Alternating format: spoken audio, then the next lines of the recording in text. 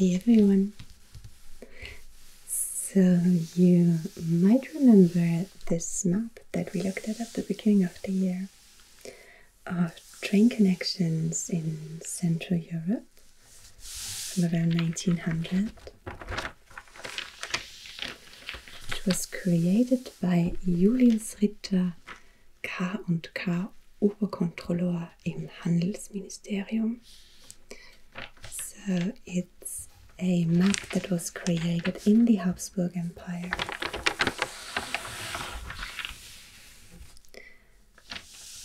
And we had a look last time at the connections mainly from Vienna and the Austrian part of the Austro Hungarian Empire. We said that there's quite a fascinating density here in what is today roughly the Czech Republic and Slovakia. That we had connections here all the way to Lemberg and then South to Czernowitz.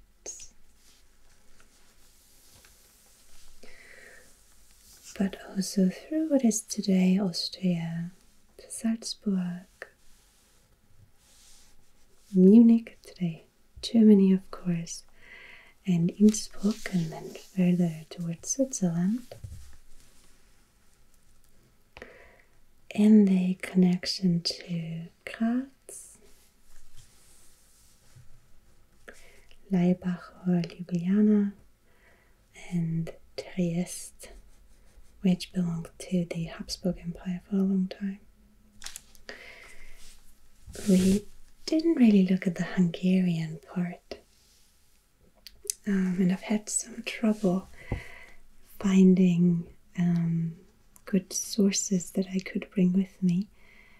One of you was so kind to send me a lot of links with historic maps, but I've yet to find a solution to show them to you without printing them out myself, which doesn't really look that great. So we have Budapest here along the Danube. Um, I think here would be Hege. And I think we had this question last time that Bratislava must be somewhere here. But it's not um, depicted as prominently as Budapest. Nonetheless, we can see that Budapest uh, functions as a center to the Hungarian part of the Habsburg Empire, with connections not just towards Vienna, but also northbound to the west, where you would cross back towards the uh, Austrian side in Lemberg.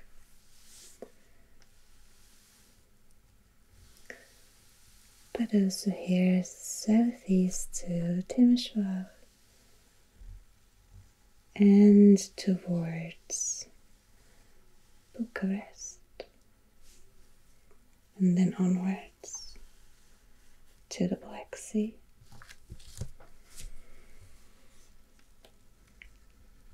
We also have a connection to Belgrade, and from here, uh, we said this last time, a curiously lonely connection to Sofia and Constantinople. Right here.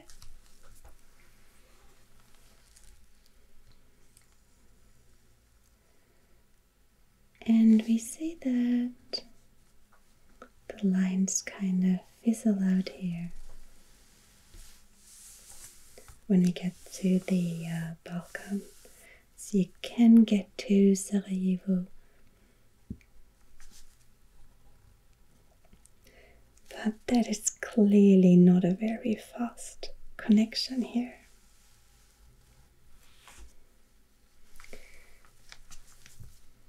Unlike the connection here towards Graz again, Ljubljana, or also, let's see which way this one goes. Maybe more this way, towards Zagreb,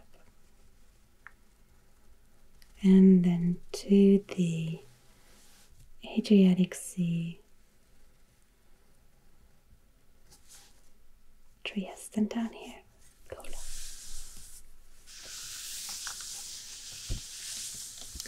So I thought what we could do is to take some detailed maps of the Austro-Hungarian Empire and go from there to kind of have a closer look at why it developed the way it did and what these connections meant.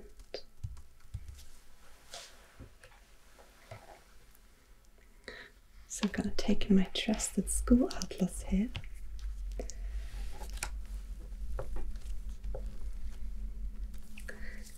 And we have a couple of different maps here over two pages that all depict different stages of the Habsburg Empire. We're going to start relatively early here with the time between 16 and 1800. In dark, I don't know if this is red or already more pink, so that this dark color is what the Habsburg Empire looked like around 1600. So here we can see some back and forth, but basically Bohemia, Moravia, what would be Austria today, as well as uh, Slovenia and parts of Italy with Trieste belong to the Habsburgs. In the uh, 17th and 18th century, they also take hold of Croatia and first Hungary, including Transylvania, and then 1718 the Banat falls to them.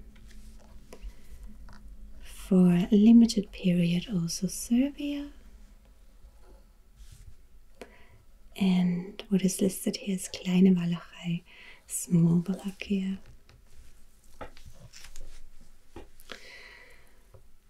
North, we have Galicia.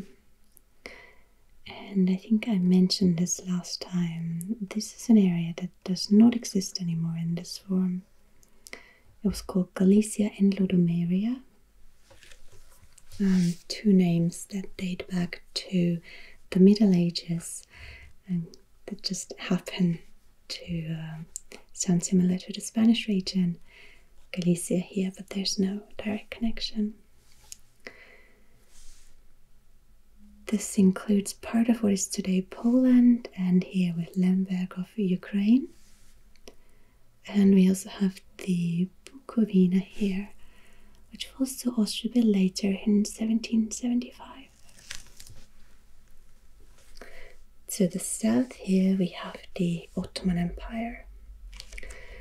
So what we can see on this map basically is that this region here would have been a border region and especially um, parts of Hungary and uh, Transylvania, um, you could also see that this was a border region. So, what the Habsburgs tried to do is to get people to settle there to make sure that it would stay within their empire. Um, we usually speak of Schwaben but they were not necessarily exclusively Schwaben, so it was from different parts, um, usually of German speaking countries. And in Siebenbürgen, you still have some uh, cities that have German names until this day, like Hermannstadt. even if the number of actual German speakers is quite small.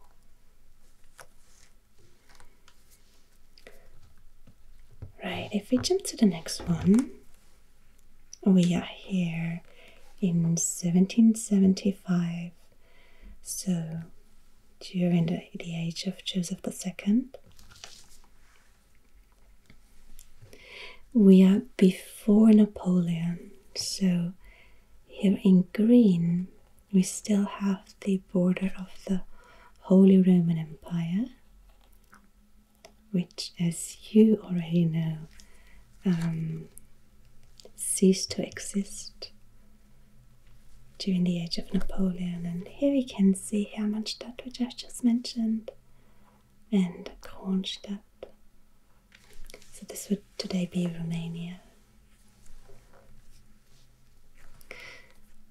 This would be Budapest, Bratislava, Vienna,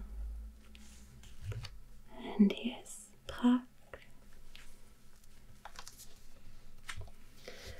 And we also have some information here about the uh, economy. In pink,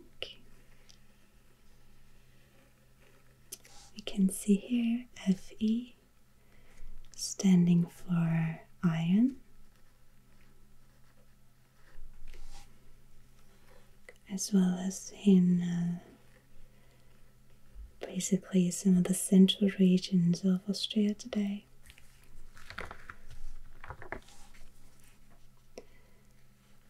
Then in blue, we have uh, textile production.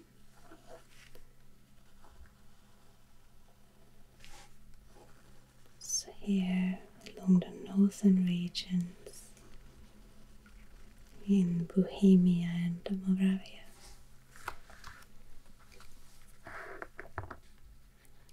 As well as here, all the way in the west.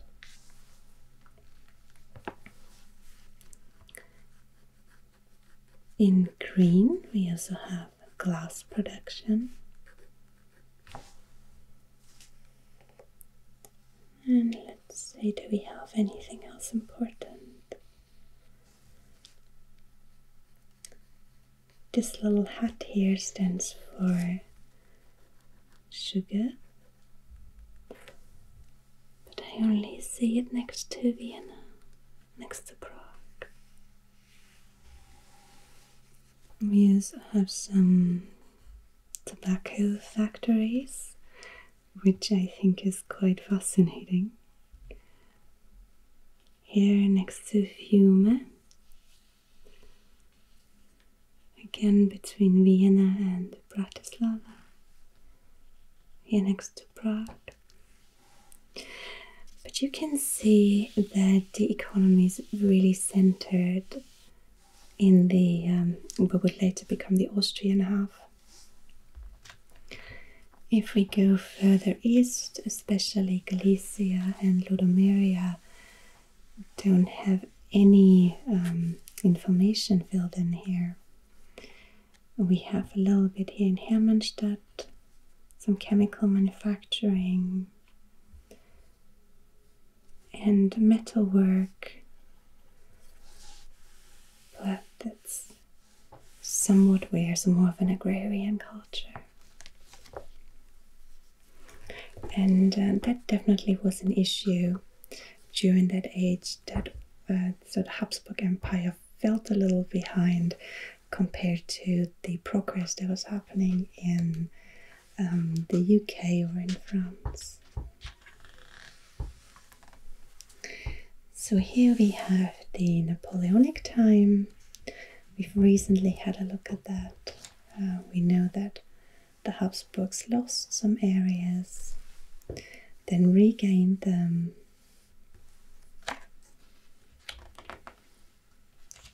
Maybe we could have a quick look at this because you can quite nicely see the different parts of the empire. So, again, you have Austria here, Bohemia, Moravia, Galicia and Lodomeria, Bukovina, Siebenbürgens, Transylvania. You have Hungary, Slavonia. I think this here would be the Banat, which is sometimes separately mentioned. Oh, or maybe a little further to the east here in this region. Croatia, Dalmatia, partly also Tuscany was ruled by the Habsburgs. And here you have a Carniola or Krain in German, Carinthia, Styria, Tyrol, etc.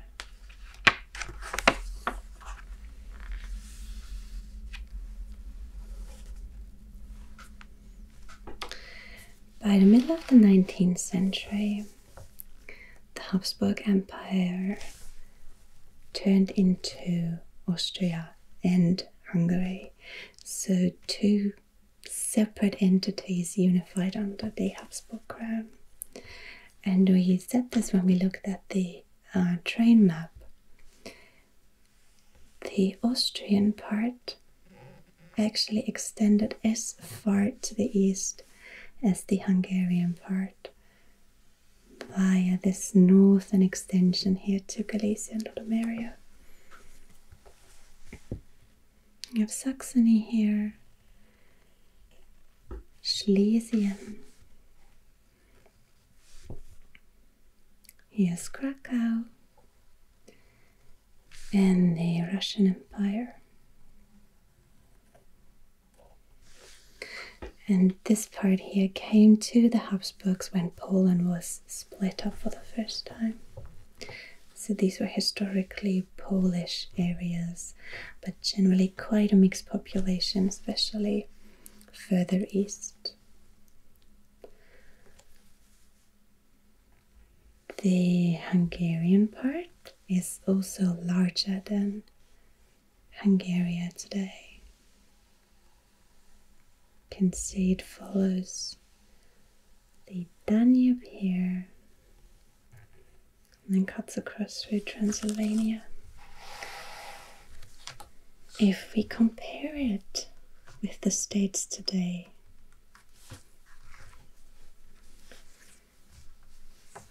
or specifically, this would be um, 1919. Some parts still look the same, some don't.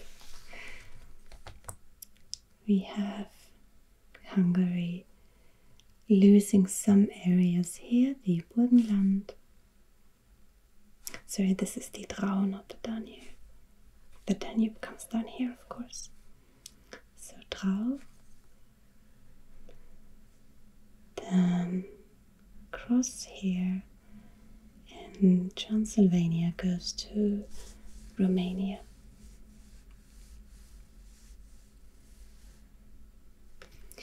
you can see that it largely follows the different peoples that lived in the Habsburg Empire. So, in yellow, we have Hungarians, but you can also see that the borders don't quite match where people lived But of course, especially if you look at this part here, it's close to impossible to map that out in a state. Um, you had a, a policy of making sure that people moved in from different parts of the empire, so you have a mixed population, you have different languages being spoken. Especially here, if you look at Romania, you have Hungarian, you have German, as we said earlier. Of course, you have Romanian in large parts, but the same is true for what would later become uh, Yugoslavia. Again, you have German areas.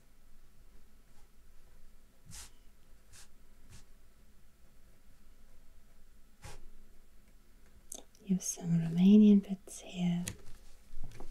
You have Croatian along the coastline, but also here in the center. Surrounded by uh, Serbs and Bosniaks.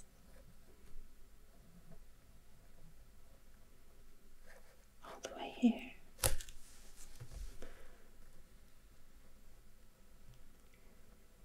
You have Slovenian people here.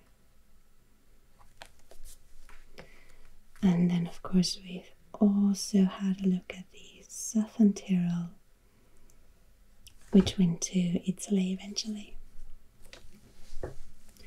And you can see quite nicely here with uh, Galicia and that the western part was dominated by a Polish speaking um, population and the eastern part by a Ukrainian speaking population.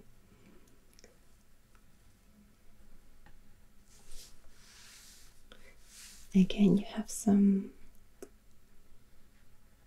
pink German bits here, and it's important to notice that German here doesn't just include German but also Yiddish. So today that would probably be counted as two languages. But the reason I actually wanted to pick these maps is because of this one. So here we can see some of the road connections, um, train lines, and connections by different rivers. Let's take a closer look at that. The most important one was certainly the Danube. From Germany past Vienna and Bratislava to Budapest and then south past Belgrade towards the Black Sea. But it wasn't just the only connection. Have here the Save.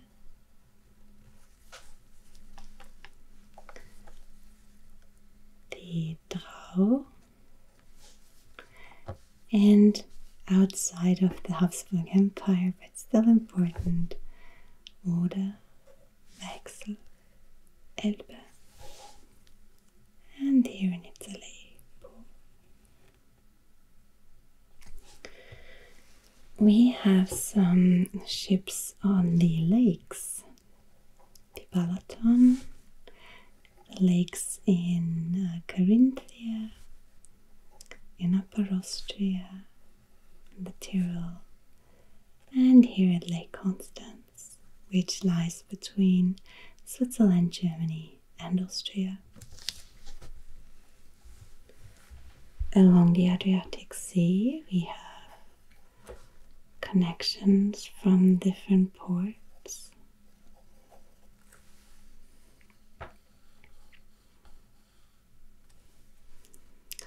So I'm assuming that this refers to ferries. Um, it says Schifffahrtslinie mit Zeitangabe. I'm guessing it means it took six and a half hours from Trieste to Venice, 11 hours from Venice to Pula, which was a military harbor, 12 hours from Venice to Ancona, 9 hours from Ancona to Zara, and 14 hours from Trieste to. Let me see what that says. Brindisi, which is not a port I know. It feels like this takes quite long, but then who knows what kind of ships they were using.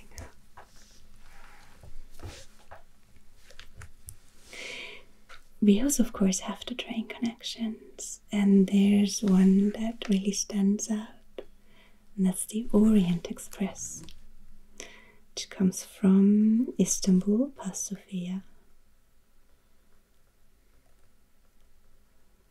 North, crossing the Danube here in Belgrade and into the Habsburg Empire. Through the Hungarian part to Budapest, and then past Bratislava to Vienna, and from there again, roughly following the Danube. Uh, let me see. To Salzburg, right? It's this one here. To Munich, through Germany basically, and then onwards to Paris. There are also some smaller connections, like here from Zurich to Paris.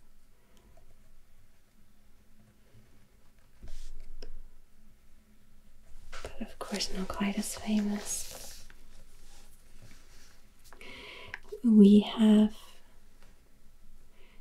um, both state lines and private lines.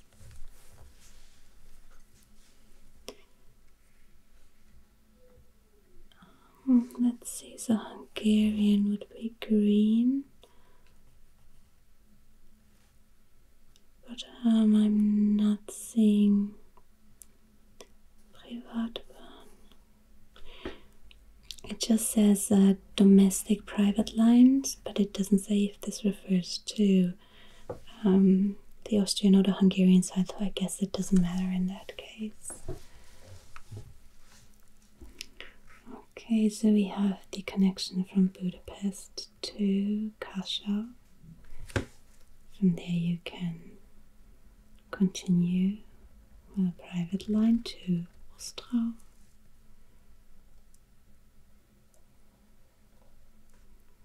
Or you come from the other side from Vienna. You Can go to Raab and then what is it? Ah, here it goes south to Budapest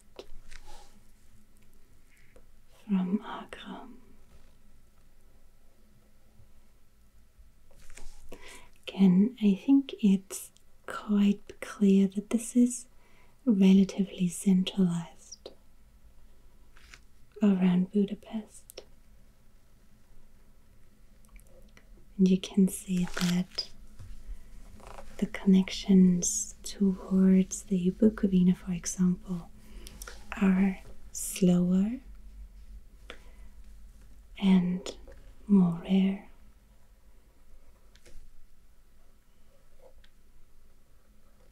You can get to Hermannstadt and Kronstadt and you can continue to Bucharest. One interesting aspect here is also that um, Bosnia and Dalmatia are part of the Austrian part of the empire. So you have to cross through the Hungarian part, which would include Croatia.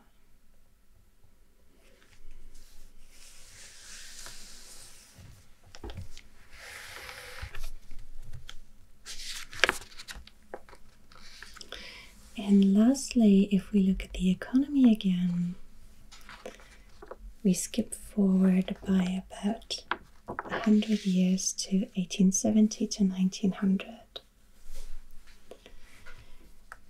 We can see that the green and blue areas are still largely agrarian in some form or another. The blue part here is clearly alpine territory, as well as here in the Carpathian Mountains and down here. In yellow, we have a largely agrarian, but in a more flat area. You have the Pannonic Basin here in the center between Alps, Carpathian Mountains, which would continue down here.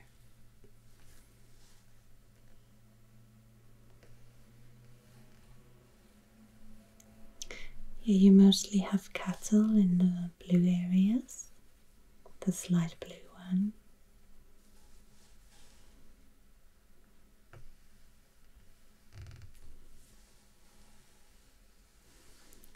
So these little dots would be along here. This is basically um, a subsistency economy.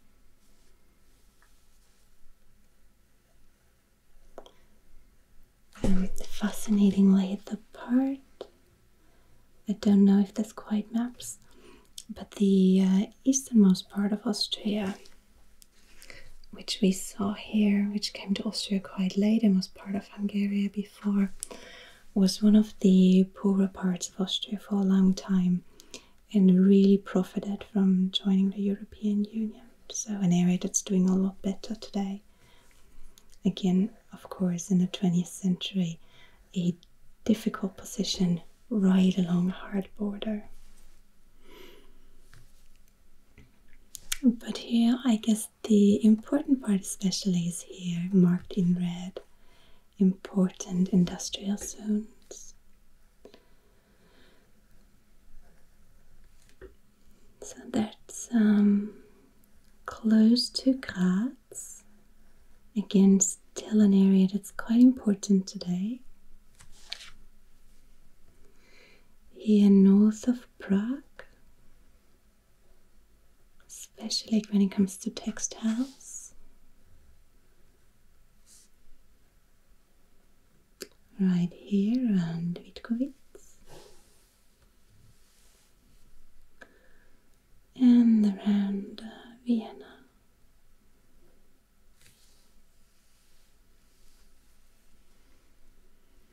So this would be um, an increase in metal industries.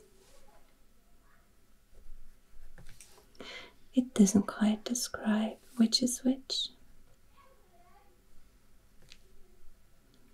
But for example, here in Styria, for example, here in Steyr, it's a city that still prides itself on that history. And if we're looking at the entire map, we can see concentration here in Bohemia, along Vienna. We can see a center here in Budapest, but the further out towards the periphery you get, the industry becomes spare. So a clear difference, I think, between center and periphery.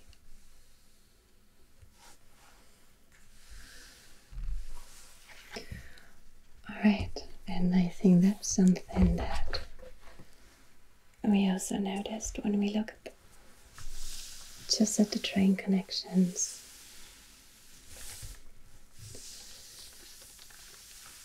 Very, very busy train lines in an economically prosperous region important train lines here in this connection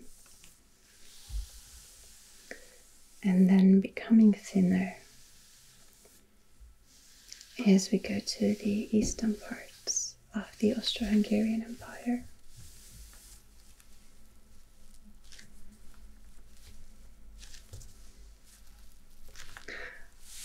Alright, so those were a lot of maps today.